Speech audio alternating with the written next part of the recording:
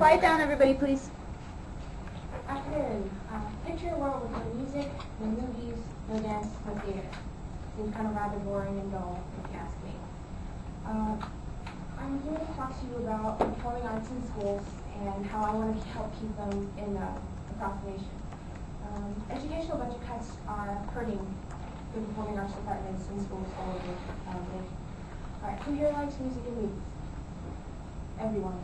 Now, why would they hurt something that helps produce that? Uh, I bring to you a problem. Schools are cutting performing arts departments due to educational budget cuts. And what we need to do is we need to keep these performing arts in schools by helping to fund them. And if we do, uh, kids everywhere can learn and enjoy the performing arts. Uh, here's the problem. Performing arts are being removed from schools. We need to keep them performing we need to keep the performing arts in schools because they help build self-esteem in kids. They help give them a release for their pent-up energy. If anything, um, people all over America agree. According to the Gallup World Poll taken in 2003, 93% of Americans feel that music education should be a part of school curriculums in all schools. I don't think that number has changed very much today. I'm pretty sure most people still think that it's important for kids to be singing, to be acting, to be playing instruments in school. Studies prove that students who are involved with performing arts do test better and they do build a, a higher self-esteem because when you're involved with something, you make friends, you talk, you learn to communicate.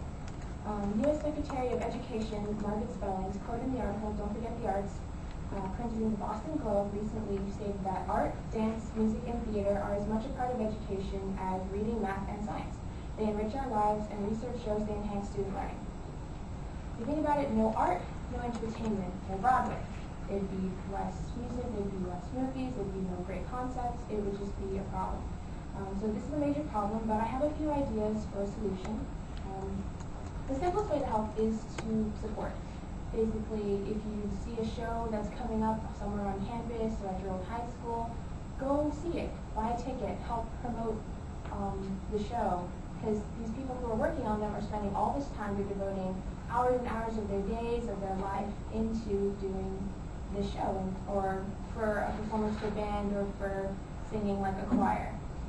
Um, you can also donate money to organizations that are trying to save music. For instance, VH1 Save Music is a great organization to donate to because what they do is that they go around and they provide instruments to children who are in need of them. They believe that it's important for everybody to have a uh, instrument, even if they don't have the money for it. That way they can continue to learn to be musically educated. Um, also, we should stand up against educational budget cuts if you, if you notice, um, within the last couple of years, tuition has gone up here at UCF. That's due to educational budget cuts.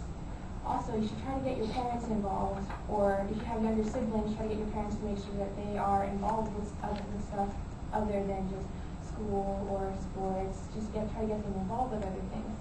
And uh, the more parents, the better. According to the article, Parents Should Protest in Tallahassee, published in the St. Petersburg Times, January 2009, in a letter to the editor, outraged bystander and parents stated, education should be the last thing slashed, not always the first. He went on to say that if Florida specifically continues to suffer educational budget cuts, we will be producing a bunch of undereducated, low-wage earning 7-Eleven and Walmart workers, and that is not a bright future.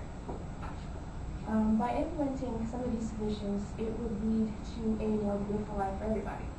Uh, if you think about it, you ha- I'm sure everybody here has like a favorite TV show or a favorite movie or they enjoy listening to different kinds of music. Well, if we stop teaching kids about music and about art and about dancing, we're not going to have that anymore. Keeping the arts will benefit everyone in the long run.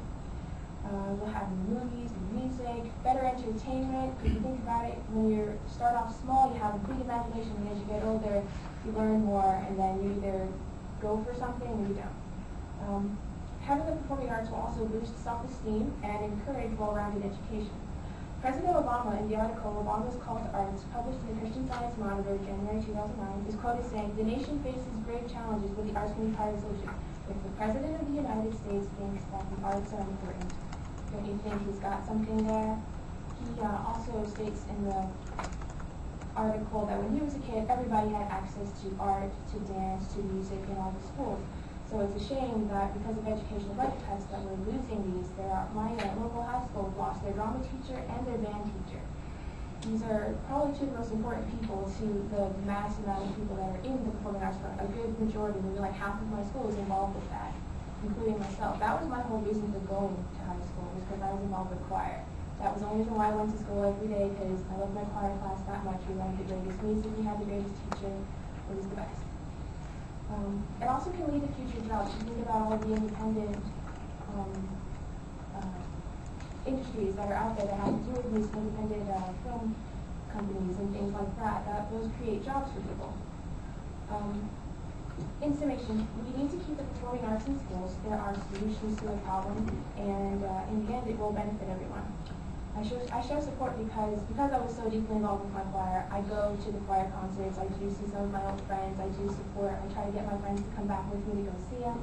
If somebody tells me about the band concert, I'll go and see it. If uh, I go to the spring musical every year because we put on a fantastic show. We they play for great organization. They put on extra encore shows just because they spend that much time and our director, the drama director, spends that much time devotes that much of her life into making our department very strong. Um, and I ask you to do one small thing, go see a play. Just spend the six to ten dollars that's gonna cost for the ticket and go see a show. Um, so, if anything, do it for the future of dance, musicianship, and acting because without performing arts, that would exist.